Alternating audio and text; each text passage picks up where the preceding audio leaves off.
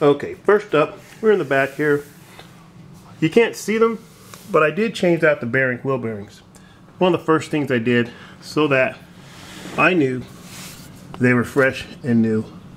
Additionally, I changed all the bushings to urethanes. So you can see here on this uh, sway bar, which is a UUC aftermarket sway bar, I have red urethane bushings here. And I also changed all the bushings, you can't see them, but on the transmission mounts and on the subframe. I have urethane bushings, if you can see the purple. If you can see the purple uh, right right there, that's one of the subframe mounts, and the other one, uh, let me see if I can get that, turn this around. Let me turn the camera around, get the other subframe.